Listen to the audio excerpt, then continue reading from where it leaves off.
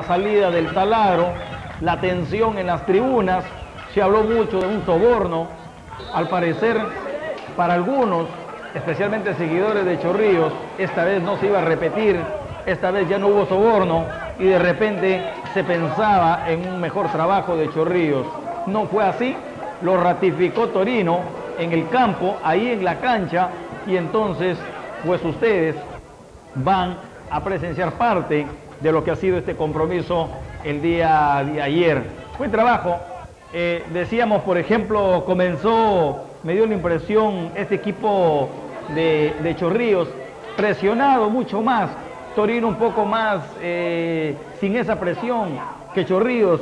Obviamente estaban pensando porque tenía dos puntos arriba, Torino sobre Chorrillos, y Chorrillos sabía que había ganado Refineros, y entonces estaba a seis puntos del puntero, y ganarle significaba todavía recién ponerse a tres, y entonces esto creo que también de algún modo fue lo que jugó en contra del equipo del profesor Walter Agurto que asumió la dirección técnica durante la semana. Es el tercer técnico que eh, asumía la conducción del equipo chorriano, estuvo Walter, eh, el argentino, eh, Gómez, pasó por César Manrique apenas una, dos semanas y lo toma después de mucho tiempo, de algunos años, el profesor Walter Agurto tampoco ha sido la solución en la dirección técnica, lo que quiere decir que el problema de Chorrillos ha sido en el jugador, el problema de Chorrillos ha sido allí, en, los flyers, un trabajo, si bien es cierto, fundamental de Moisés Rechumí, no lo podemos discutir, es un hombre de mucha experiencia,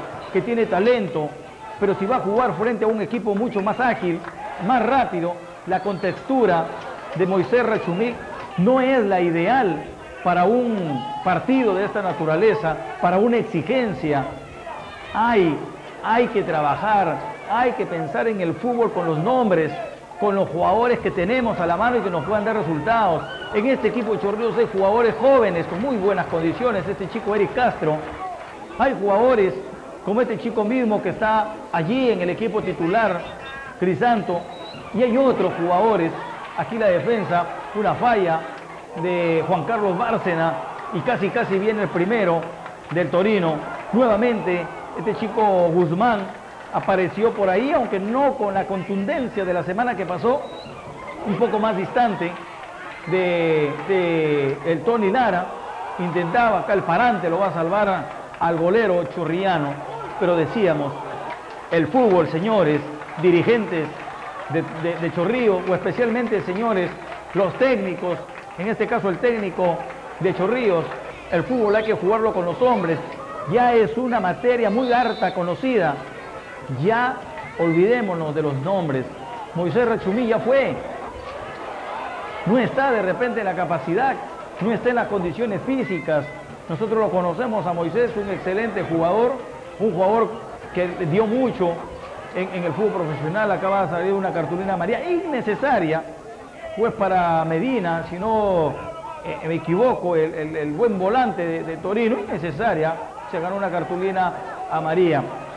Eh, Martín Clavijo en sus salidas no tuvo, eh, no tuvo el trabajo, es decir, organizativo de salir, no salir por salir, buscar, no estaba Paredes, sin embargo había este chico Crisanto tenía por ahí la posibilidad de buscar, fíjese ustedes, Moisés Rachumí, así como esta tuvo muchos, es decir, no tiene ese trabajo físico que, Moisés Rachumí, que lo puede lograr, pero necesita mayor trabajo y por eso, profesor Walter Agurto, o quienes tengan a cargo en su momento la conducción técnica de Chorrillos, hay jugadores mucho más ágiles en este equipo de Chorrillos.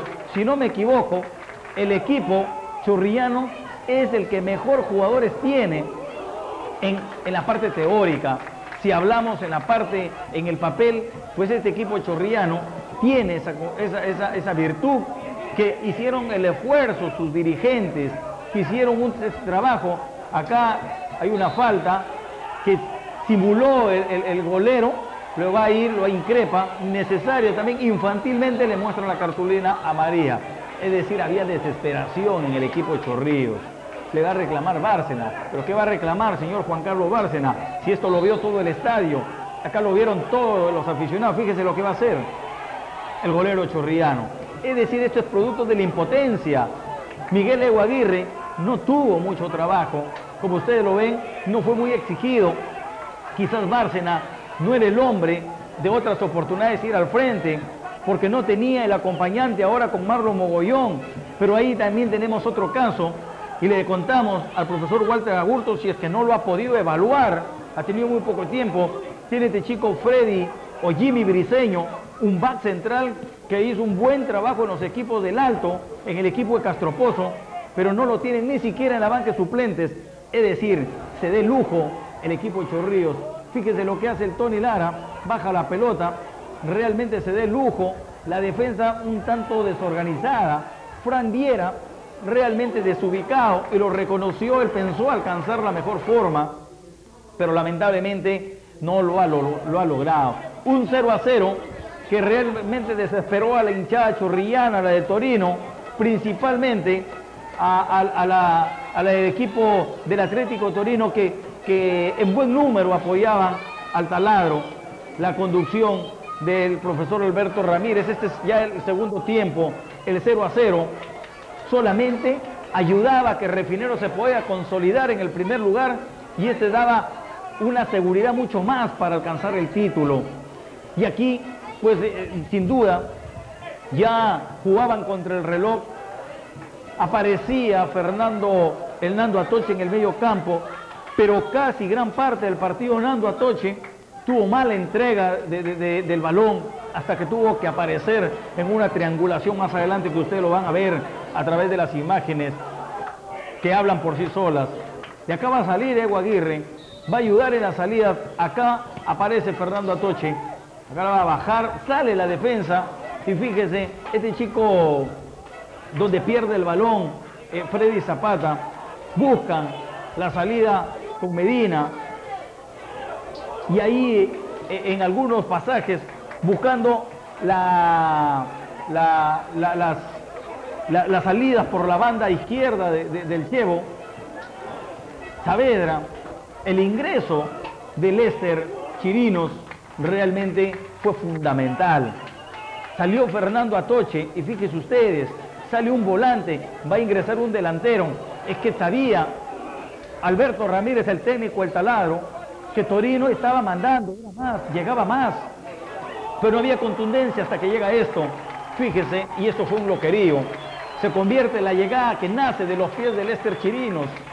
Va a colocar el balón al centro y llega, pero esto tampoco puede ser aceptado por este chico Ricardo el Indio Dios. La alegría puede ser grande, la alegría puede ser mayúscula, pero realmente en un momento de alegría desbordante tampoco un excelente gol, una buena llegada de Chirinos, fíjese, sin que la pelota baje y va a celebrarlo. Este chico Ricardo Dioses no era para menos, para celebrar la apertura del marcador, el camino para seguir aspirando, seguir soñando con el título. Hasta ahí bien se saca la camiseta, pero reprochable, realmente censurable la actitud de Ricardo Dios en celebrar de esa manera no podemos aceptar el público un tanto. También mostró su censura para Ricardo el Indio Dios, que tuvo un excelente partido, que fue el hombre que prácticamente llevó de la mano a la victoria del equipo del taladro del Torino. Acaba de llegar Miguel Eguaguirre, algo le dice a Ricardo Dios y realmente se la perdonó Guillermo Macías, que estuvo ayer de algún modo un tanto eh, si se quiere, eh, de alguna manera eh, bondadoso, porque por lo menos le debió mostrar la cartulina a María.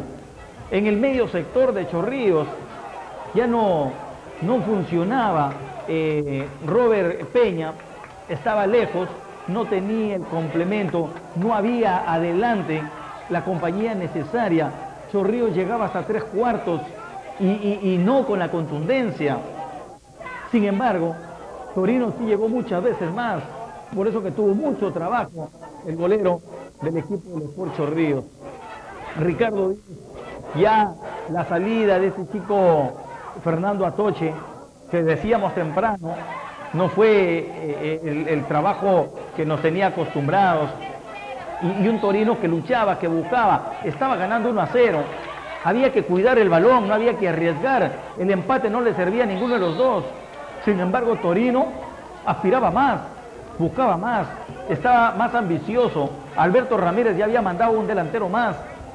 Se conocía, se sabían las condiciones y vuelve a aparecer el indio, vuelve a aparecer Ricardo Dios con esa contundencia. Ahí está, nos decía, parece ser, estaba llamando por teléfono, lo habían llamado, pareciera que estaba pidiéndole, había pedido por teléfono a Dios para que le diera esa, esa virtud, para que apareciera en sus botines con este derechazo, el golero que hace vista y prácticamente el balón que va a dar al parante derecho para decretar el lapidario 2 a 0, que con esto estaba liquidando las aspiraciones del equipo del Sport Ríos. Ahí está el teléfono, ahí está la llamada, dice Ricardo, el indio Dios, y va y lo sorprende. Ahí va y se abraza con su técnico, Alberto Ramírez.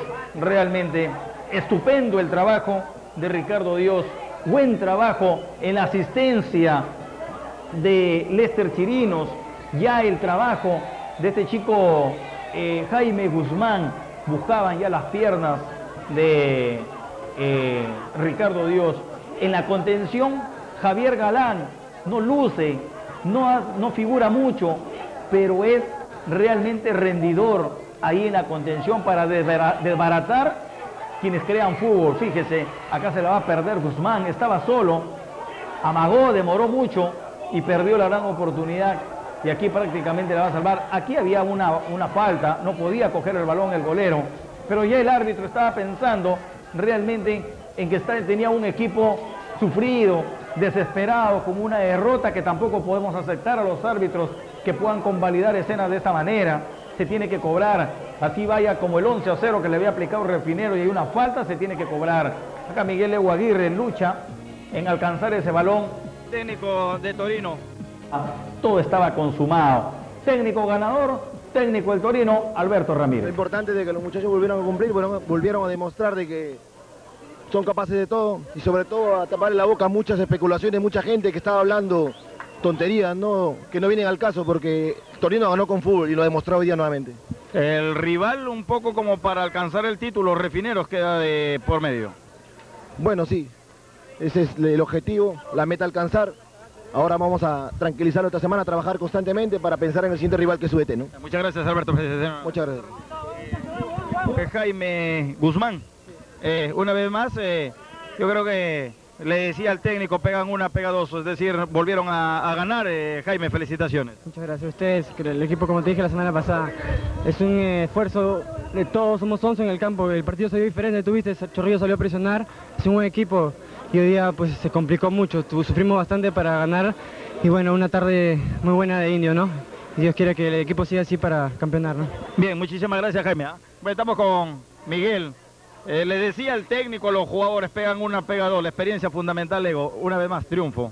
Sí, importante, importante porque eh, se hablaban muchas cosas de, Atlético Torino durante esta semana, sobre una compra de un jugador, pero hoy demostramos que las cosas no son así. Torino demostró que solamente acá en el campo, con sus jugadores, eh, le he vuelto a demostrar a Chorrillo de que era más equipo, ¿no? Ego, en el camino por el título queda Refineros, un poco UDT que se hoy día cayó estrepitosamente. Pienso que sí, pienso de que nosotros eh, nos estamos preparando no, para ese partido que va a ser importante y, yo, yo, pienso de que eh, los muchachos deben ser conscientes y esperar, pues solamente se encuentra, ¿no? Al frente de ese equipo, Pedro Sanginés, Percy Peña, dos jugadores recorridos, Ego. Sí, son dos muchachos que, siempre han, jugado fútbol profesional, igual que, quien habla. Eh, yo pienso de que es algo básico dentro de Refineros como también ese Aguirre dentro de Torino, ¿no? Yo pienso que las cosas en, el fútbol eh, o en el campo eh, son diferentes. Son diferentes porque ellos mientras van a atacar yo voy a defender, ¿no? Luego quedó de lado aquellas especulaciones sobre el soborno y aquellas cosas que se movió durante la semana. Pienso que sí, pienso de que eh, demostramos, hoy en el campo demostramos de que no fue así lo que se estuvo hablando. Definitivamente hoy volvimos a demostrar y, ahí fue el triunfo, ¿no? Miguel, muchas gracias. Gracias a ti. Estamos con Ricardo Dios, el mejor jugador del campo, el autor de las dos conquistas un paso importante en busca del título. ¿Cómo está Ricardo? Felicitaciones. ¿ah? Muy tranquilo, pero, pero con lo que te digo que hemos sido 18 buenos jugadores y más el profe y el preparador físico y esta gente, creo que todos somos buenos jugadores acá, por, no, no, no, no el crédito se lo lleva Ricardo Dios, sino toda la gente que es Torino y toda la gente que está Lara, ¿no? Bueno, usted siempre buscó la parte de la malla olímpica en los últimos partidos, los goles que convirtió Ricardo. ¿Ofrecimiento a alguien especial? Sí, sí, en especial a, a Dios y segundo a mi padre que está delicado, a mi madre, a, a mi esposa, a mis hijos y, y en especial a, a, toda esta gente de Lara y a mi amigo este Burga que, que no entra porque... Y él me dijo que si hacía un gol se lo dedicara a él haciendo así, ¿no? Loco Burga. Bien, eh, el rival, eh, Ricardo. Bueno, como has visto, un rival digno, ¿no? Muy digno. Creo que la gente se va contenta porque ha visto un fútbol muy bueno y, y, creo que Neiro también tiene, mérito aparte tiene Chorrillos, ¿no? Porque es un buen equipo también, ¿no? Ricardo, ¿sigue pensando en el camino o al frente tendrá refineros como para alcanzar la, el título? Sí, sí, sí, este, ahorita estamos pensando en, no en refineros, sino en UDT que se viene, que UDT siempre es peligroso, ¿no? Porque incluso yo he jugado ahí, UDT, para que es un equipo muy peligroso y hay que pensar ahorita en ese partido. Y después vendrá lo, lo, lo demás, ¿no? Bien, Ricardo, muchísimas gracias y felicitaciones nuevamente. Gracias a ti. Gracias a ti.